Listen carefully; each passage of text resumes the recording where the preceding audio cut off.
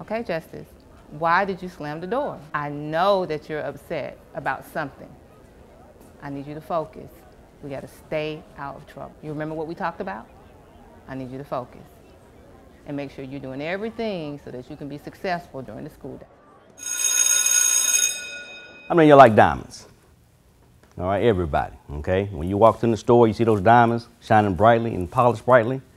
But you ever thought, is that diamond, does that look like that all the time? No, it doesn't. Diamonds come from the earth, natural, rough, distorted. But what makes them diamonds in the store? Extreme pressure and extreme heat. When you bring that together, you become a diamond. That's why your teachers, when they see you, like I saw a young man in the hallway earlier today, they see diamonds in the rough, and they're trying to do what? Make you that diamond in the store. Because you only get one shot at life. One shot. What are you going to do with it? Are you going to stay a diamond in the ground, or are you going to be that diamond in the store? Never ever downgrade your dreams to fit your reality. Increase your conviction to make your dreams your manifest destiny. Always believe in yourself. Dream big. If your dreams don't scare you, then you're not dreaming big enough. When people tell you your dreams are too big, you tell them no.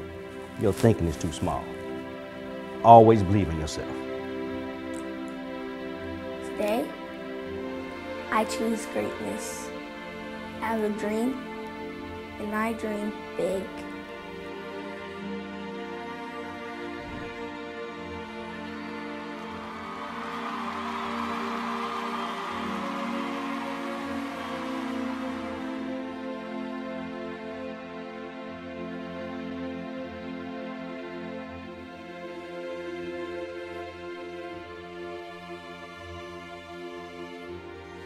We're here today on a special day to honor a tradition when we have a new judge in town, Justice Judge Wells. Judge Wells, are you ready to assume the gavel? I am. Would you raise your right hand?